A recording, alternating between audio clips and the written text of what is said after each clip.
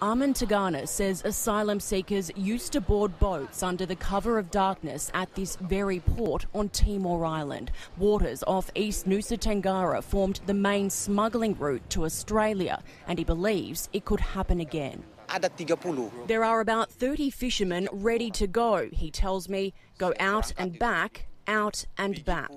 The medical evacuation bill passed this week will allow mainland treatment only for sick asylum seekers already on Manus Island and Nauru. But Mr Tagana believes the new law, and even more so, Scott Morrison's reopening of Christmas Island, could be enough to spur Indonesia's people smugglers into action. It's up to his bosses, he says, and they monitor Australian politics closely I'm ready.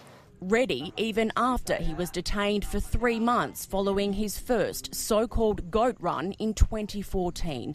He still managed to get his 95 passengers to Australian waters before capture, resulting in a $10,000 payment to rebuild his home. And next time, if there is one, he wants more. But he'll need refugees to fill his boat, and those we spoke to aren't keen. The Australian government is not happy if somebody gonna go to Australia by the ship. Probably they're gonna uh, deport back.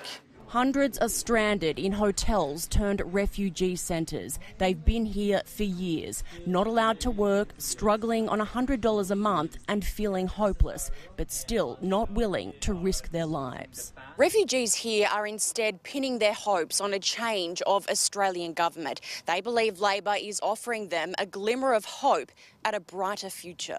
From the Australian election, we are happy if there is some change in the new government and then they're gonna take some other people. Labor says the trade has moved to the skies, claiming 90 people a day are now entering Australia via our airports and wanting asylum. We are homeless, we are just looking for a safe country.